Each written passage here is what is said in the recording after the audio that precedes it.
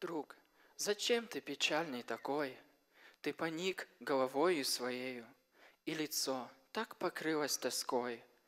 Или не видишь ты радостных дней?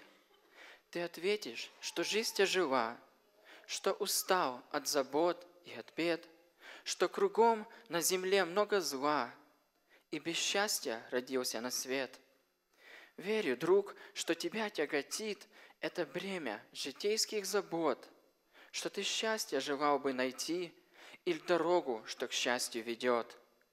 Ты о счастье так много мечтал, это первая мысль у тебя, но нигде ты его не встречал и считал несчастливым себя.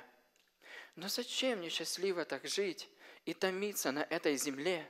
Ведь счастливым и радостным быть может каждый, и ты в том числе.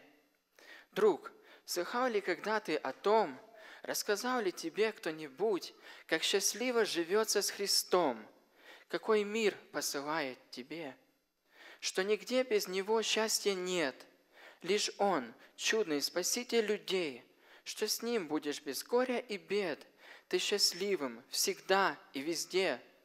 Так прими мой хороший совет, ты доверься Христовым словам и скорее вступи с Ним в завет, и тебя осчастливит Он сам. Слава Богу.